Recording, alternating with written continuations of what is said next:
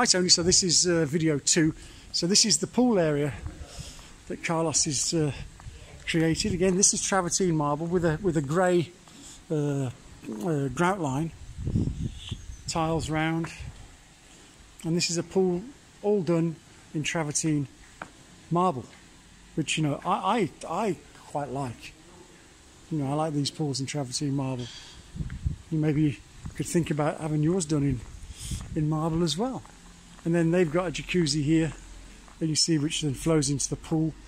Yours is going to be you know, the same sort of configuration because it's got to flow into the pool, of course. But whether we do it over a, um, I don't like the, the castellations so much. I like a, you know a, a lower level, which you can also use as seating then, as it goes over. But he does a very good job. I would say this is the hotel. Look at the beautiful tree that they left in the middle on purpose. Really, really nice. You know, it's got showers and bathrooms in here, which they're, they're putting in. You know, they sit on sinks. Everything's travertine marble, as you can see. Shower area here. And that's just for the toilets.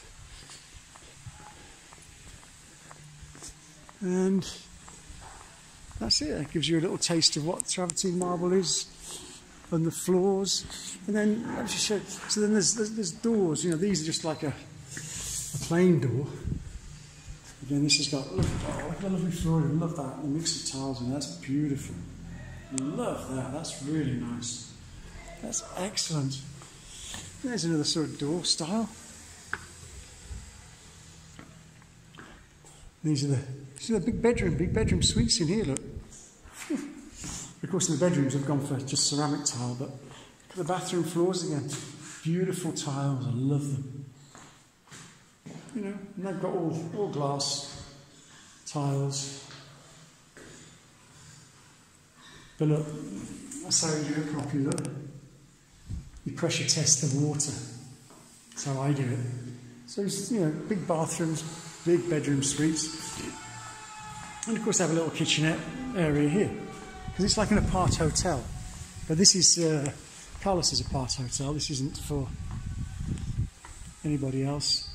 The same bedrooms as we keep going down. The furnishings, and this one's almost got it's got a, a full kitchen.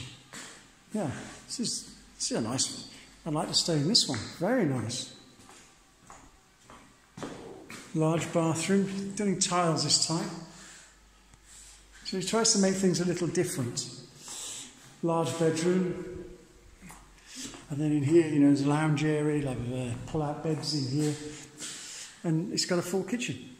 Okay, the kitchens, you, you know, you're not going to get, those are going to be better quality than this, but you can see his kitchens are all made of wood. That's uh, laminated uh, particle board, not particle, uh, green MDF laminated in the middle, which is fine. But the rest of it, wood. Very, very nice.